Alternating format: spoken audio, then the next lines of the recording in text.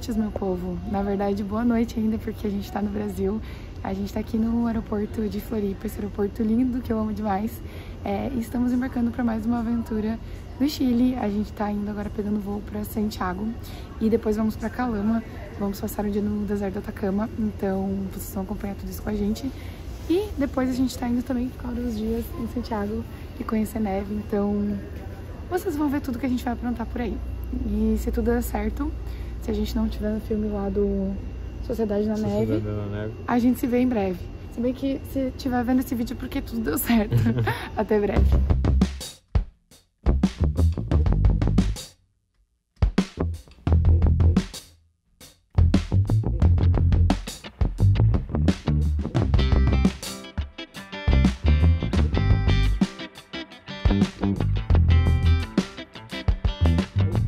Buenos dias, meu povo! Agora sim, são sete e meia da manhã, chegamos em Calama, tá um frio, um frio, tá menos dois graus, meus dedos estão congelados.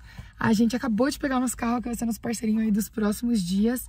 E é isso, vamos sair agora do aeroporto, é, vamos ir no mercado aqui em Calama ainda, porque eu acho que vai ter mais opções para comprar umas coisinhas. E também vamos tentar fazer o câmbio aqui em Calama, vamos ver se a gente vai conseguir. Só para depois a gente ir para São Pedro da Atacama. E sobre o lugar do carro foi tudo bem tranquilo, apesar de ter demorado um pouquinho ali, uma meia hora, vai. É, mas foi bem tranquilo, só precisa... A gente alugou tudo antes no Rent-A-Car é, e chegamos ali, já estava tudo certo. Só precisa passar o cartão, né, como seguro, né, que eles sempre fazem aquele esquema. Então precisa ter um limite aí é, no cartão de crédito, que fica como seguro e depois eles retornam, né. E é isso, é, documentos, só o documento da CNH brasileira já é o suficiente, não precisa ter nenhum outro documento, então é super tranquilo de alugar carro aqui no Chile. E é isso, gente. Ai, tô muito empolgada.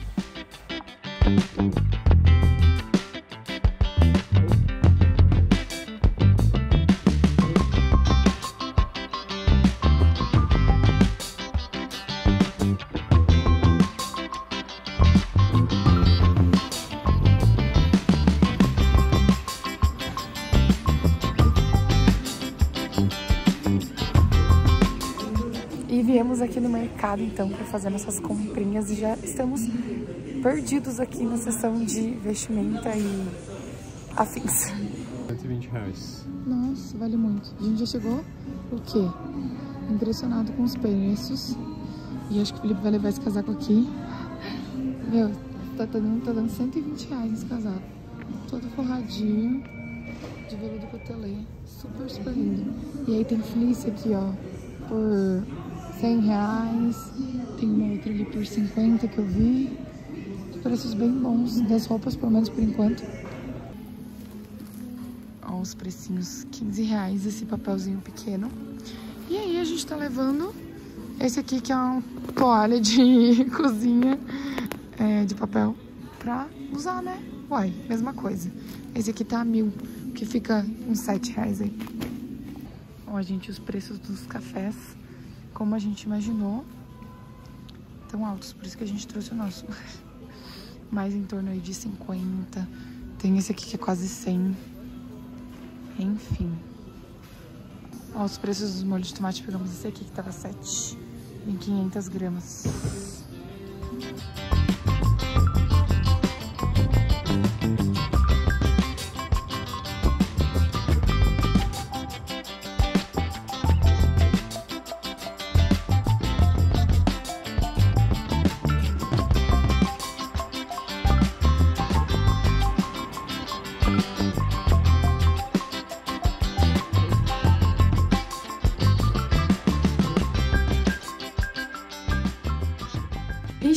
Nosso Airbnb e assim, ele é melhor do que a gente esperava. A gente adorou muito. É, a host aqui foi muito querida. Como sempre, eu vou deixar aqui pra vocês o link do Airbnb.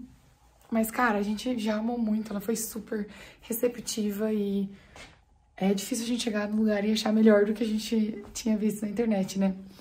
E é isso, vamos organizar as coisas aqui, também as compras do mercado. E também já deixo a dica aí pra vocês que a gente foi lá no mercado. É, e assim, é super grande o mercado. Aqui a cidade não é muito grande, então os mercadinhos são muito pequenos. Então, para quem tiver de carro, é uma dica pra fazer, é ir no mercado em Calama mesmo. Porque, enfim, mercado super grande, tem coisas variadas. Pra quem é vegano, lá tem muita opção. A gente achou, tipo, de tudo. E hum, os preços, claro, né? São preços, assim, de Chile, né? As coisas são um pouquinho mais caras. É, depende, das, depende das coisas. Tem coisas que são preço do Brasil, tem coisas que são mais caras. Então, assim, que nem você vai pra qualquer lugar, é sempre assim.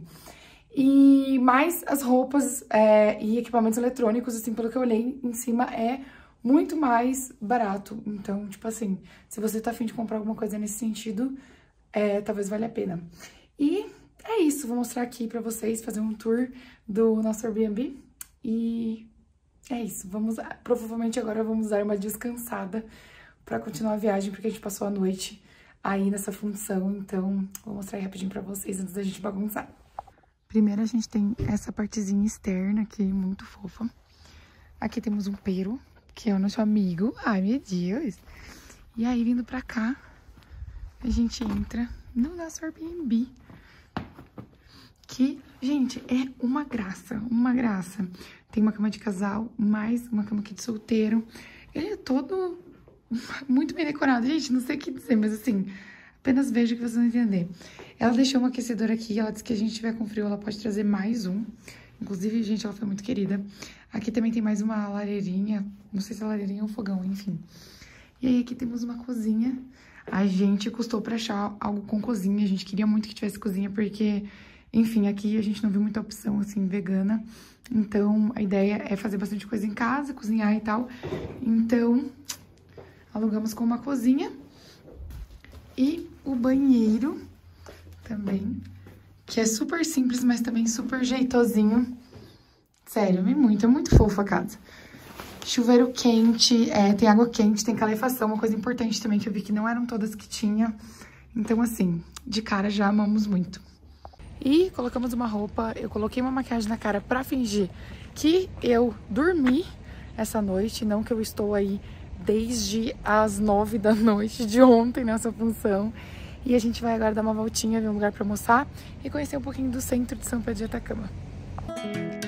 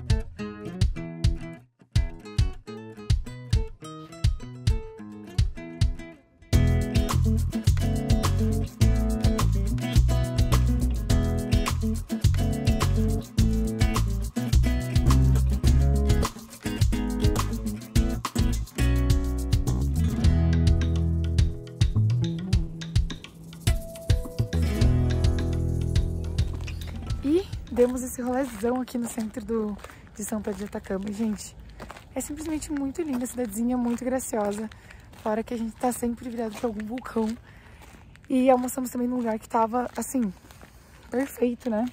A gente pediu dois pratos ali, um brunch e o seu era o que? Era, não sei o que, era Ah, exatamente. era tipo um choripã assim, mas era muito Com gostoso cogumelos. com os cogumelos. Uma delícia. Era, como é que era? Eu esqueci a palavra, mas Cogumelo ele era alho. tipo refogado com alho, assim, nossa, uma delícia. Uhum. Uma delícia, tudo maravilhoso. A gente gostou muito, inclusive a gente provavelmente vai voltar naquele lugar. É, porque tinha bastante opções veganas. E agora a gente vai pra casa, porque afinal precisamos descansar. Então a gente vai ir fazer um, um foguinho pra se esquentar, tomar um vinho. E é isso. Ah, e quase eu ia esquecendo, mas a gente acabou fazendo o câmbio lá em Calama. A gente pesquisou um lugar que era bem avaliado.